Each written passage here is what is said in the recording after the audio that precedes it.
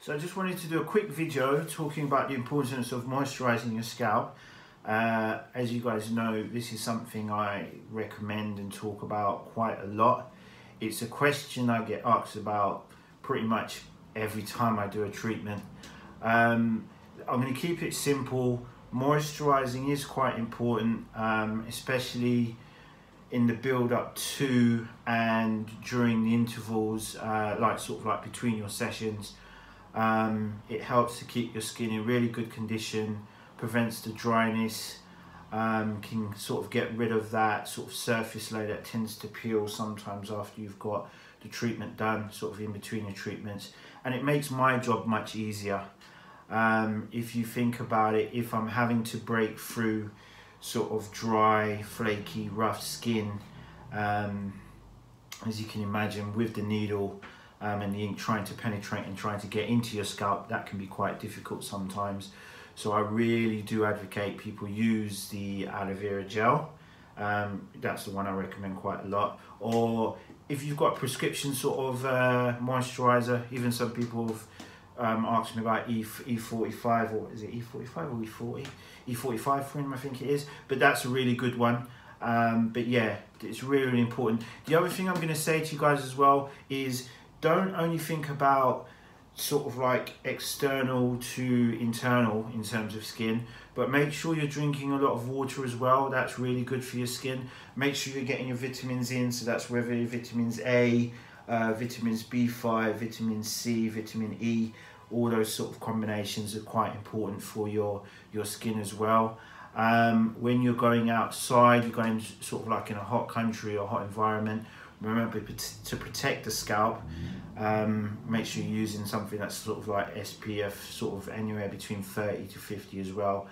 Um, but if you do go out and about and it's just generally a sunny day I would say don't worry about it too much. But if you're going to be in a particular area where the sun's going to be hitting your scalp for a prolonged period of time then protect it.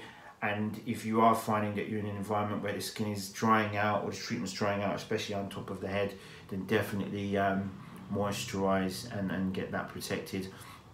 Now in terms of the aloe vera gel, it's very straightforward, okay? You don't need to use a lot, a, a lot. As you can see, I'm just using a little bit, so I'll just put a little bit on my hand there, okay? And I just rub that in really lightly, you know, and then I just sort of just rub it on my head there. And that's enough. You only need to do this sort of like once or twice a day. Now some people have complained um, that it does give off sometimes a little bit of a sheen and they don't like it and in certain lights they can't see their treatment. That's perfectly fine, I understand that, that definitely does happen. I'd say continue to use this or other products like this um, where it doesn't have where, where it gives the sheen at least use this within you know sort of like the first couple of weeks um, sort of like after even after your last treatment but once your treatment is settled for about a month or two, you can then move on to your sort of mattifying products, whether that's your Peter Roth Thomas um, mattifier. You can also use the L'Oreal Pura Matte. Sometimes you can just use a, a, a, you know a branded product, so like a Boots or a Superdrug brand, whatever kind of works for you. But the, the, the, whole point is this video is really to stress that moisturizing is really important helps to keep your skin in really good condition. That's only a bonus and a plus for your treatment as well.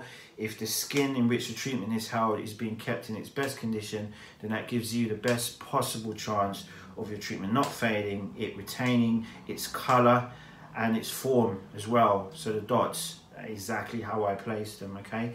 But that's pretty much it for this video. So just a little tip there and just a little reminder. Um, I'll be doing a few of these videos just kind of like here and there when sort of topics come up. Um, I had my client this morning and he asked a few questions about moisturising, so I thought it would be time to sort of speak about it.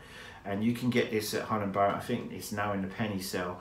I don't know when you're going to see this video, so it might not be relevant, but at worst case scenario, it's no more than one 199 or 250 so you can get this um, and it's, it's really good I, have I've been using it for a while and I have no problems with it at all okay? Anyway guys take care. I'll see you soon